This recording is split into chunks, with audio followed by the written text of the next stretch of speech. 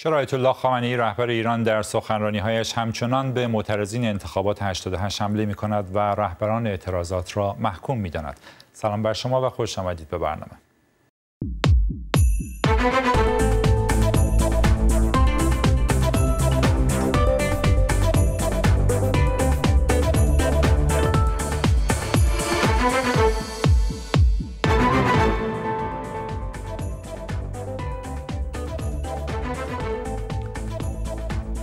حصر از مهدی کروبی، میرحسین موسوی و زهرا رهنورد بعد از گذشت سه سال از ریاست جمهوری حسن روحانی از وعده های انتخاباتی است که امروز دیگر کمتر کسی انتظار تحققش را دارد.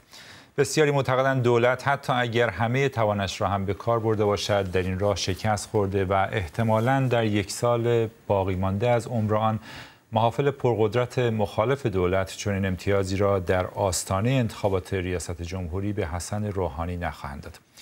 آیت الله خامنه‌ای رهبر ایران در همین هفته یک بار دیگر با تأکید بر بی‌بصیرتی رهبران اعتراضهای 88 گفت در همان دوره در جلسه به یکی از آنان هشدار داده بود که مدیریت این جریان به دست بیگانگان خواهد افتاد. آقای خامنه‌ای افزود آنها حرف این جانب را نفهمیدند و وارد شدند و همه دیدند که چگونه انتخابات بهانه‌ای برای حمله و نفی اصل نظام شد. در برنامه امروز می‌پرسیم اشاره رهبر ایران به کدام جلسه است؟ آیا تغییری در لحن رهبر ایران در مورد محصورین 88 دیده می شود و در شرایط فعلی انتظار رفع حصر چقدر واقع بینانه است؟ این پرسش ها را در میان خواهیم گذاشت با علی مزروعی نماینده پیشین مجلس که از بروکسل با ماست و از پاریس اردشیر امیر ارجمند مشاور ارشد امیر حسین موسوی و سخنگوی شورای هماهنگی راه سبز. امید با ما خواهد بود. بسیار متشکرم از هر دو مهمان برنامه. آقای امیر ارجمند اگر یه اشاره کوتاهی بفرمایید قبل از اینکه وارد تحلیل داستان بشیم این جلسه ای که آقای خامنه ای اشاره کردن مقصود کدام جلسه است؟ چون می‌دونیم که آقای کروبی بعد از انتخابات هیچ دیداری با آقای خامنه ای نداشت. بسم الله الرحمن الرحیم بله بعد از انتخابات به فاصله چند روزی جلسه بین آقای خامنه‌ای و آقای موسوی برگزار شد و در اون آقای موسوی تأکیدشون بر این بود که خواستار وحدت ملی همبستگی ملی استقلال کشور و حفظ انقلاب هستند و معتقد بودند که شرایط کنونی ایجاد تردید و شکل برای مردم کرده. مردم قانع نشدن و مجموعه شرایط وضعیتی هستش که لازم هست انتخابات تجدید بشه و اگر لازم باشه ایشون کنار می‌کشه. ولی انتخابات تجدید بشه برای اینکه اصل نظام انقلاب و تمامیت ارضی کشور استقلال سیاسی اینها حفظ بشه.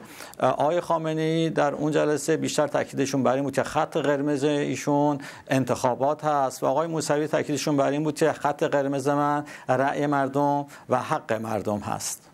و جناب امیر اجمند امروز بعد از گذشت به حال چندین سال از داستان‌های 88 و حصر آقایان موسوی و کروبی و همینطور خانم رهنورد شما وضعیت رو چگونه می‌بینید؟ فکر می‌کنید که با توجه به وعده هایی که در دوره ریاست انتخابات ریاست جمهوری سال 92 آقای روحانی داده بود الان کماکان شما امیدوار هستید به اینکه واقعا چون این وعده بتونه جامعه عمل بپوشونه به خودش؟ ببینید آقای روحانی وعده داده بودن باید هم در حد توان خودشون دنبال بکنن. اما مسئله این به آقای خامنه ای برمیگرده. اصل مسئله تصمیم گیری برای زندانی شدن این سه نفر توسط آقای خامنه ای صورت گرفته و حلش هم به دست خود ایشون هستش. ایشون بعد از حدود سه سال الان آمدن و یک مسئله را مطرح کردن و می‌گویند که علت حصر این سه نفر این بوده که در تظاهرات شعارهای ساختار شکنانه داده شده و همچنین امکان حضور بیگانگان فراهم شده و اینها موزگیری نکردن. خب این خیلی خوب است. الان به نظرم سه قدم به جلو هست که بعد از این مدت کل دلایل آقایون برای بقای حصر اینه. حالا این رو باید مورد بررسی قرار بدیم. من اجازه می‌خوام که 4 5 فاکتور داره اونها رو خدمتتون عرض کنم. اگر کوتاه بفرمایید ممنون میشم که بعد بریم خدمت جناب مزری. متشکرم. ببینید عرض می‌کنم اول این هستش که اینها موزگیری کردن و با صدای بلند هم فریاد زدن که الان من بعض از اونها با فاکت خدمتون میگم. چرا صداشون اگه شنفته نشده چرا؟ به خاطر اینی که مجموعه نهادهای زیر نظر مقام رهبری سیاستشون بر این استوار بود که صدای اینها رو کوتاه کنه مسائل حاشیه‌ای رو مت کنه و اگر در تظاهرات اتفاقی میفته اون از کنن برای اینی که اینها رو سرکوب کنن. یعنی در واقع برای سرکوب کردن تظاهرات و آقای موسوی و کروبی و خان رهنورد اتفاق رخ داده. من چند تا از فاکتور خدمتتون عرضه می‌کنم. ببینید اول ماجرا ده تیر ماه. آقای موسوی میگه به قانون بازگردین به قانون اساسی این بزرگترین میثاق ملت است. به قوانینی که خود وضع کردیم پایبند و آنها رو اجرا بکنیم. خب این ده تیره. بعد در 13 در هفت مهر یعنی روز قبل از روز قدس در بیانیه شماره 13 میگه ما خواستار اجرای بدون تنازل قانون اساسی و بازگشت جمهوری اسلامی به اصالت اخلاقی نخستین هستیم.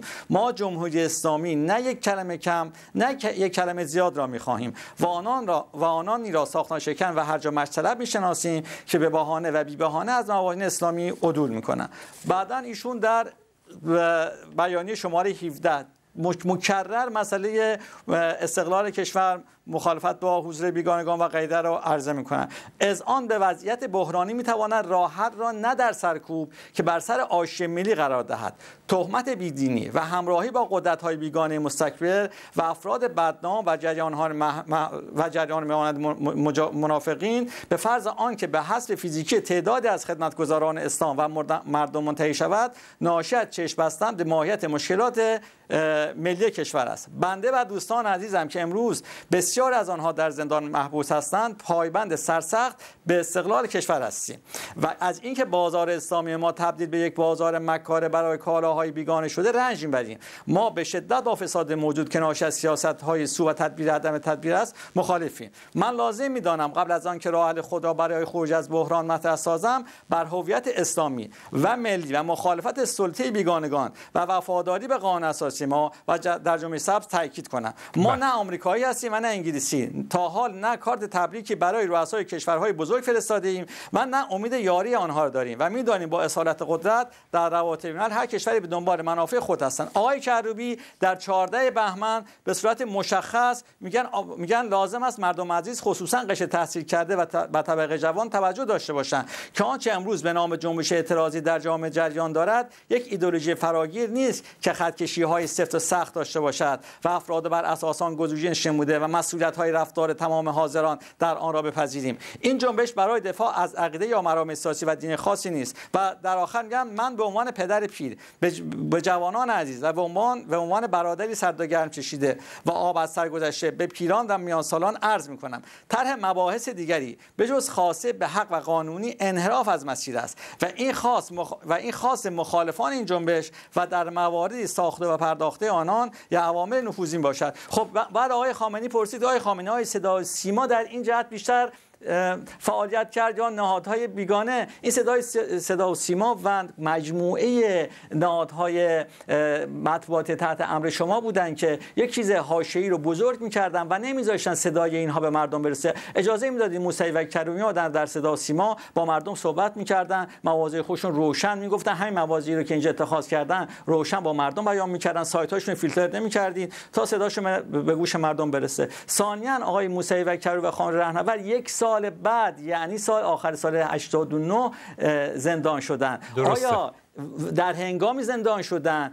که به اصطلاح راهپیمایی برای حمایت از بهار عربی بوده. پس بنابراین اصلا رفتی به این مواضع نداشته یک سال بعد شما اونها رو زندان کردید.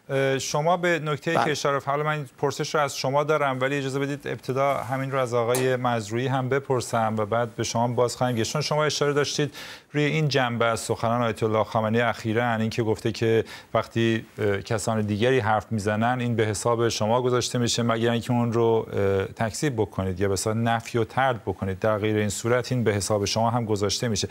آقای مزروی در این روی این جمله من دیدم که خب تاکید زیادی شده در چند روز گذشته و خیلی ها حالا بعضیا میگن که خب یه مقدار ملایمتر شده صحبت آقای خامنه ای بعضیا گفتن.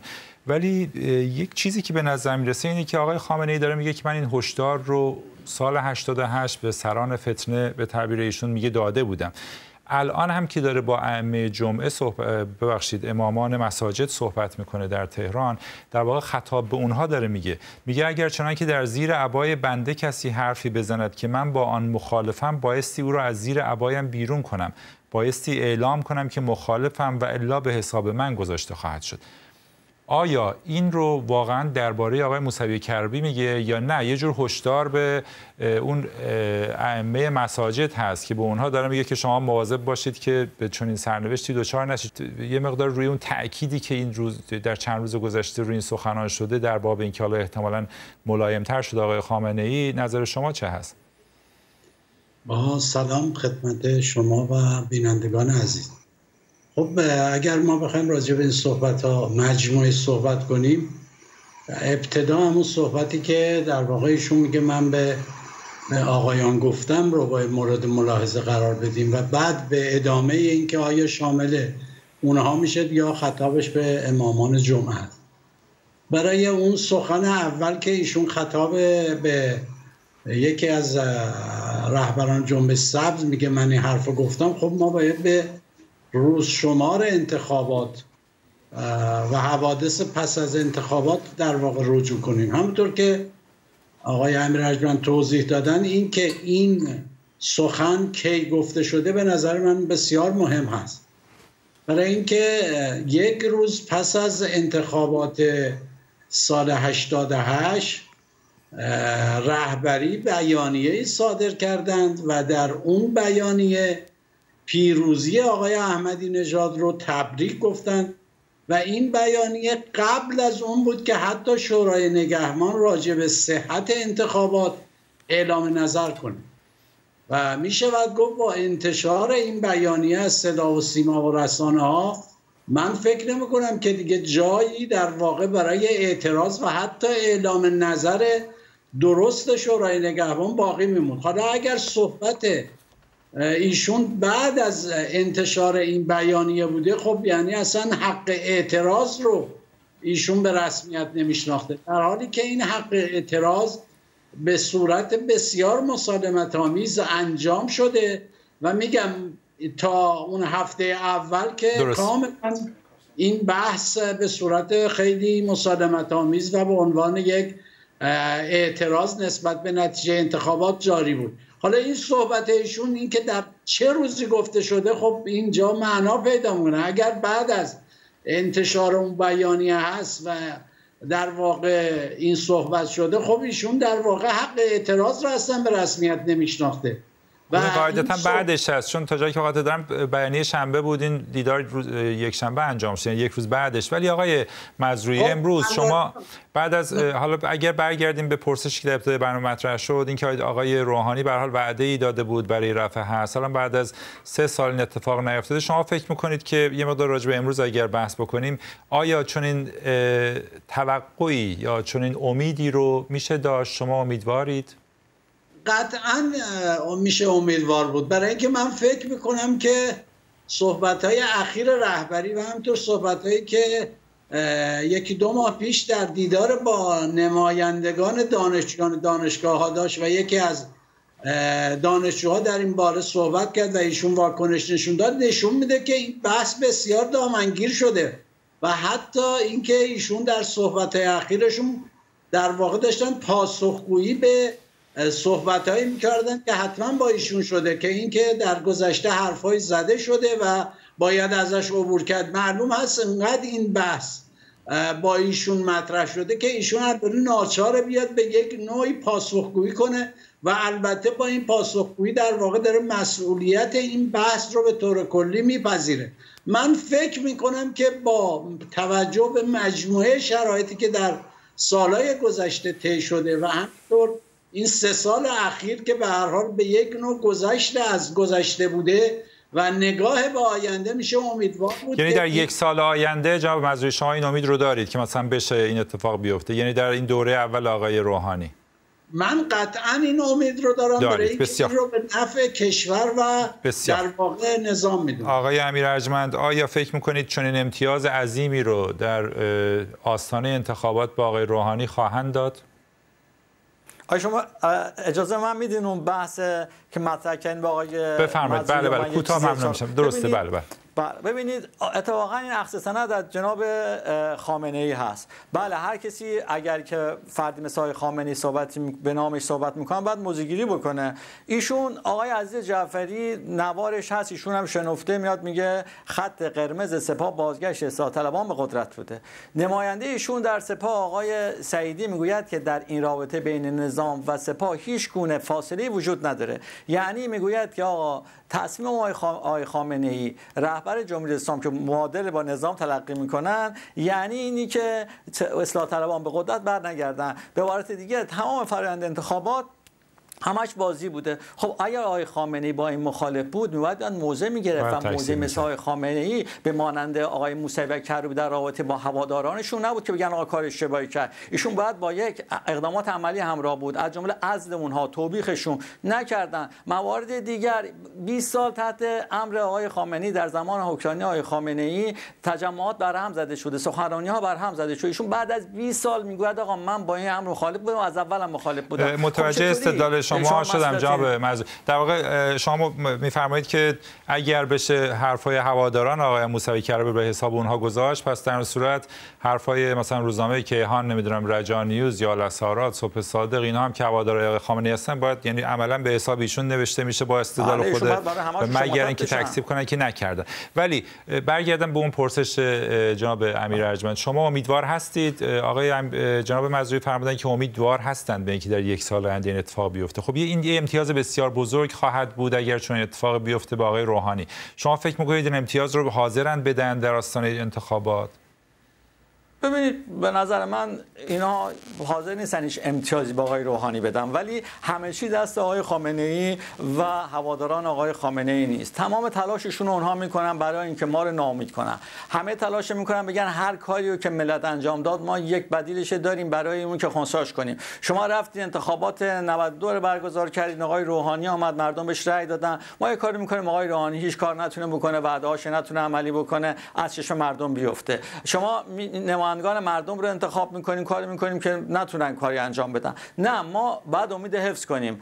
راهبرد اساسی ما امیده ما امید حفظ می‌کنیم و معتقدیم که با اقداماتی که انجام میدیم کم کم کم کم مجبور می‌کنیم که قدرت به عقب بشینه و قانون رو رعایت بکنه و این امید برای ما اساسی و اون از دست آقای در در کدوم مورد این در واقع این حفظ امید و این استراتژی که کم کم کم کم و به تدریج باید مجبور کرد که یه سری اقدامات صورت بگیره. در چه مواردی این اتفاق افتاده که این دومیش باشه؟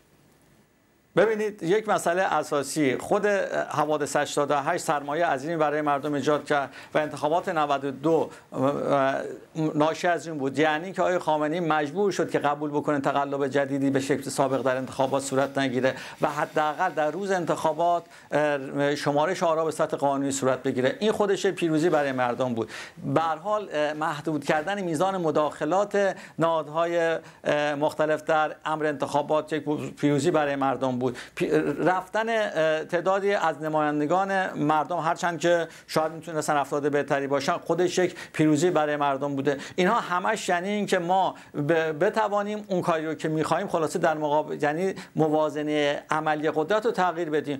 ما در انتخابات اخیر هم خلاصه مردم همگر بازیابی کردن فهمیدن که وجود دارن قدرت دارن می‌توانن کاری انجام بدن. درسته که خلاصه اهرم های اساسی قدرت در دست آقای خامنه ای و هواداران ایشون است و سعی می‌کنن که مردم رو ناامید بکنن. نه در عمل آقای امیرحاج در عمل چه چیزی؟ در اصل سیاست داخلی عرض می‌کنم.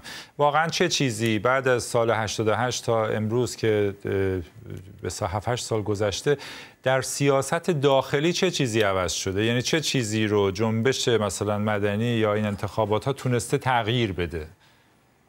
ببینید اگر که اون که مورد مورد ایدئال ماست یا حتی مطلوب ماست تحقق پیدا نکرده. ما با دو جریان فکری مواجه هستیم. یه دی به این میگن که انتخابات 92 به هیچ جایی نه انجامی چی چی تغییر نکردن ما مخالفیم. به هر حال اتفاقاتی صورت گرفته. وضعیت عمومی جامعه عوض شده. احساس مردم تغییر پیدا کرده. امید مردم افزایش پیدا کرده. اگر این امید به نتایج ملموس ختم نشه. ولی نتایج ملموس هم وجود داره. اگر اگر که قرار می‌شد اون سیاست ها به ترتیب سابق ادامه پیدا بکنه کشور در یک وضعیت فاجعه بار بود. از یک حوادث ناگواری متوجه هستم جناب یعنی اینکه میفرمایید که وضعیت بدتر نشده.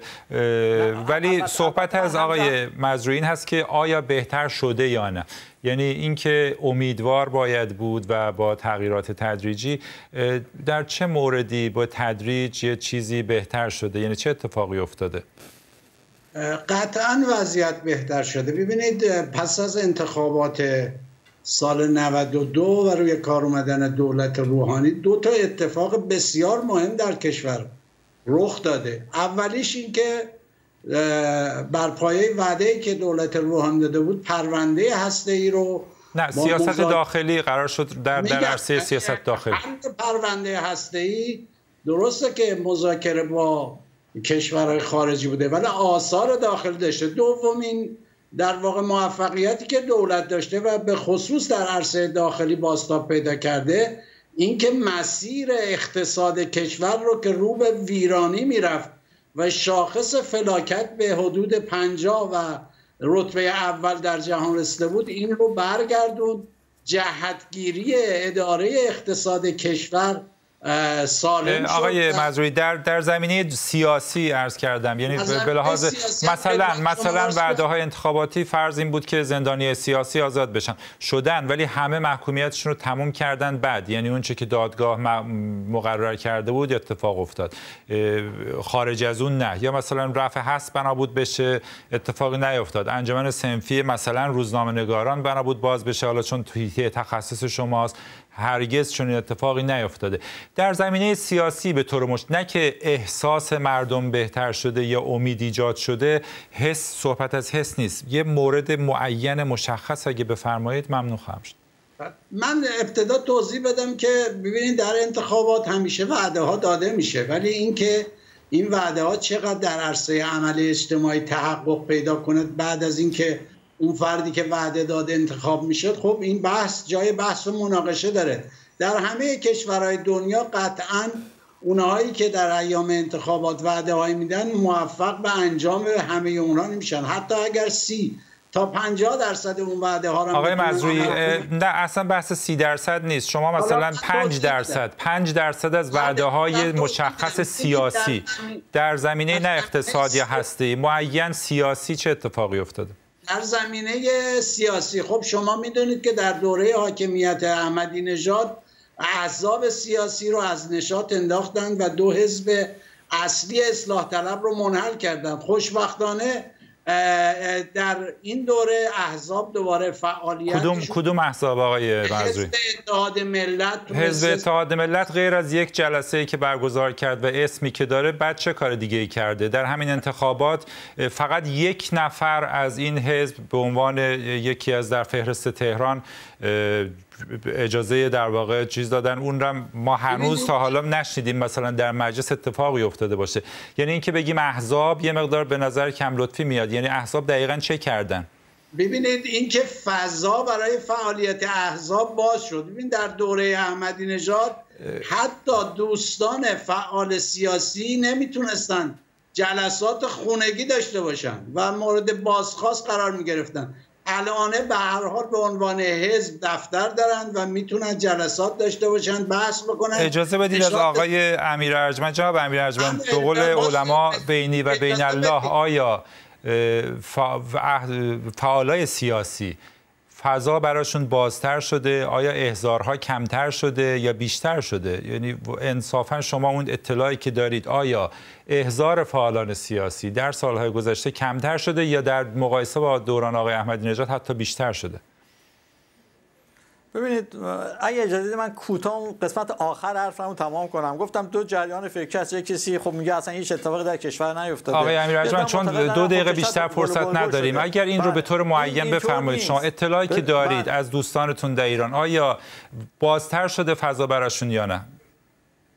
به حال ببینید احساس فعالیت بیشتری رو می‌کنن. یعنی احساس آزادی بیشتری می‌کنن. ولی به حال نهادهای امنیتی بازی رو دنبال می‌کنن برای اینکه هشدارهای مکرر داده باشن از فضایی رو که فضایی رو که ایجاد شده مدیریت بکنن. اظهارها ادامه داره فشارها ادامه داره و با بازی های امنیتی که انجام میدن سعی می‌کنن صدای کی بلند کنن صدای کوتاه کنن. کارشون انجام یعنی بحث همون چون بحث احساس قرار شد یعنی اینکه حالا چه احساسی می‌کنن بحثش جدا. ولی واقعا به طور عینی همونطوری که الان شما اشاره کردید در واقع از احضارها از کنترل به هیچ وجه کاهش پیدا نکرده که خیلی ها میگن افزایش هم پیدا کرده. هر چند خیلی ها این رو ابراز نمی‌کنن به خاطر اینکه معتقدن این می‌تونه دولت رو تضعیف کنه. جواب مزروی یه نکته رو می‌خواستین اشاره بفرمایید. یک دقیقه بیشتر فرصت نداره من خواستم بگم در رابطه با هم گفتین انجمن صنفی قطعا خب اون تحقق پیدا نکرده ولی در رابطه با مطبوعات قطعا وضع بهتر از گذشته هست. تعداد روزنامه های اصلاح طلب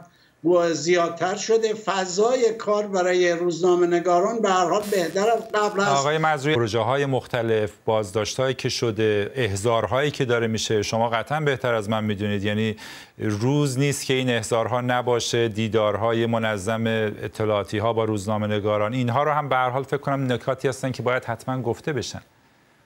ببینید من بر پایه اطلاعاتی که دارم وضع بهتر از گذشته است. هرچند بله بخشی از این نکاتی هم که شما گفتید وجود داره. ولی اون گزارشات که شما بهش اشاره می‌کنید خب شامل وبلاگ نویسا نمی‌دونم خیلی چیزای دیگه. ولی تعداد روزنامه نگاران که الان زندانی هستن خیلی کمتر از گذشته است. کنترل ولی کماکان دام آقای امج بفرمایید اگه نکته کوتاه چند جمله. نکته خیلی کوتاه خدمت رو عرض کنم. ببینید به هر حال مشکلاتی وجود داره. اون مشکلات ما نگیم چیزی رو حل نمی‌کنه. و دانستن حق مردم ما باید شفاف با مردم صحبت بکنیم. مسئولیت هر کسی هم اونقدری که هست قرار بدیم. مسئولیت بسیاری از این ماجراها به عهده آقای روحانی و دولتش نیست. ولی بعضی از کارها رو هم می‌تونست انجام بدن که انجام ندادن یا منظور کافی انجام ندادن. اونم باید گفته بشه. بسیار بسیار بسیار متشکرم. اردشیر امیر ارجمند و علی مزروی سپاس از هر دوی آقایان و متشکرم از شما که تا انتهای برنامه ما رو همراهی کردید. این برنامه مانند برنامه های دیگر ما برای یک هفته در صفحه صفحه دو در وبسایت بی بی سی فارسی در دسترس است. آدرس ما هست bbcpersian.com صفحه دو. آدرس فیسبوک ما هم هست facebook.com صفحه دو. هم از طریق وبسایت بی بی سی همینطور از طریق فیسبوک می‌تونید با ما در تماس باشید. برنامه بعدی ما روز پنجشنبه خواهد بود. شب روز